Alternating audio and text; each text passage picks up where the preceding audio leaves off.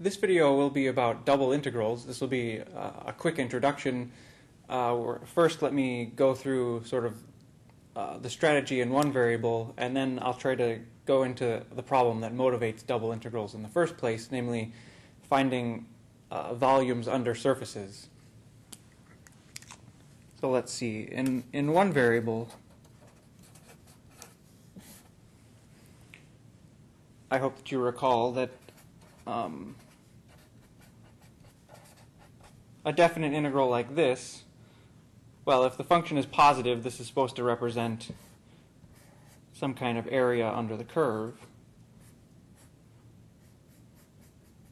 If the function is positive and, and in some places a negative in other places, we think of this as, as signed area, but we don't need to talk about that right now.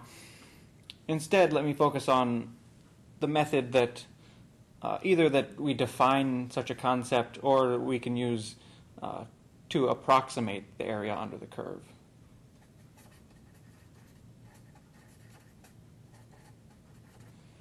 So the standard procedure is this idea of Riemann sums.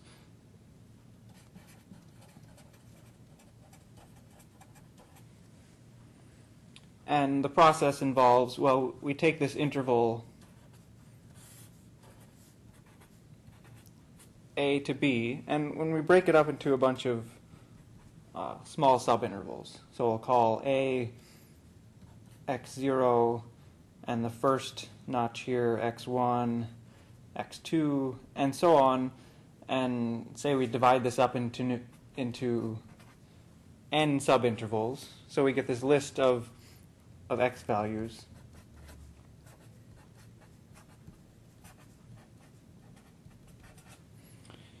And the whole point of doing this is that we're finding some way to approximate the area under the curve by uh, picking points in each of these intervals and we evaluate the function there and look at this rectangle that we get.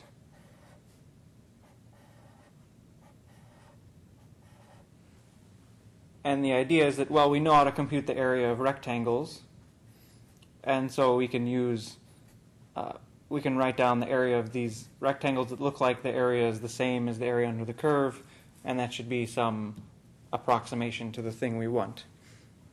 More precisely, I said, well, we pick points in each of these intervals. So I'll pick a point x1 star in between x0 and x1, and generically I pick a point xi star in the interval that goes from xi minus 1 to xi. So this is so-called sample point.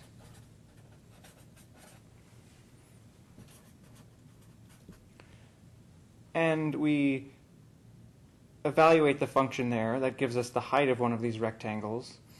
And we multiply by the width of the rectangle.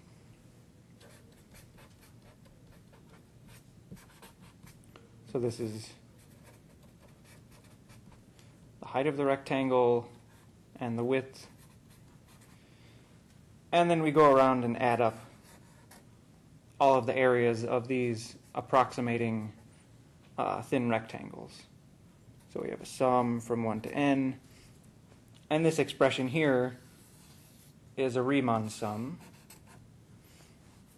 And the way we define the definite integral usually is we take a limit as how fine this division is goes to 0. So one way of writing that is to write delta x goes to 0.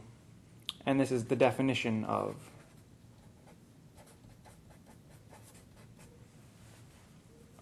uh, the definite integral. And notice it doesn't matter whether or not f is positive or negative in this expression. We're just multiplying sort of by um, the values of f times the width, and this makes sense no matter what.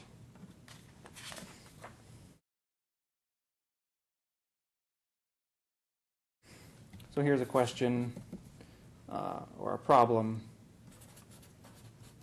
What is the volume under the graph of this function?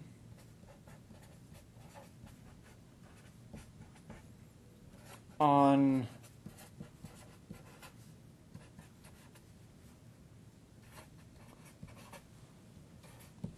on this rectangle? Well, first of all, what does this even mean?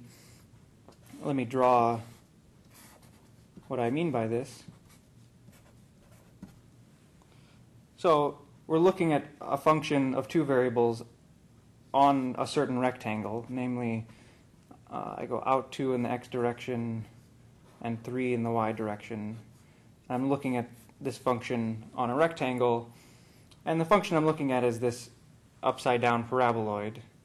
So it sort of starts out at 5 and kind of goes down this way. And it has approximately this, this type of dome shape. And so the thing we're trying to find is the volume between the xy plane on this rectangle and this dome shape above. Well, one way we can do that is similar to one variable. We want to um, approximate the volume with something, and the analogous thing is to approximate with rectangular prisms. So we have this rectangle on the xy plane, and we'll divide it up into some pieces and use some rectangular prisms that, that fit nicely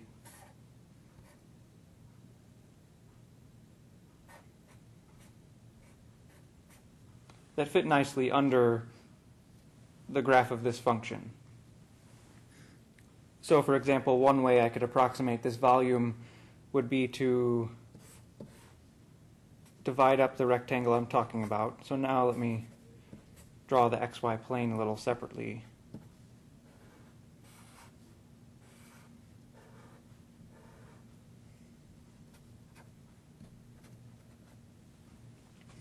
So here's the rectangle I'm looking at, and now the idea is to find the volumes of these uh, rectangular prisms. I'll have to pick a sample point in each of these and evaluate the function there. That gives you the height of a rectangular prism, and then I'll multiply by the area of a subrectangle, and that gives me the volume of one of these. So the idea is I'll have f evaluated at some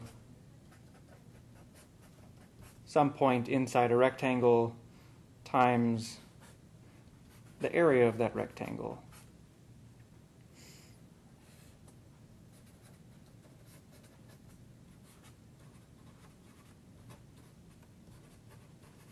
And this gives you the volume of one of these approximating uh, rectangular prisms. So right now we, we can't answer the question of what is the volume under that graph, but we can approximate it. We can approximate it by using something similar to a Riemann sum. So what I'm going to do is maybe do the simplest thing possible. I'm dividing this rectangle uh, into two pieces this way and three pieces this way, and I'll evaluate the function at corners of these rectangles and multiply by areas.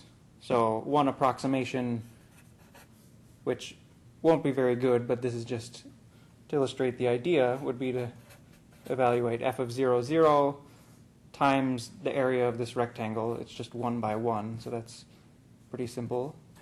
I'll evaluate at this point, which is 1, 0 times the area of the rectangle.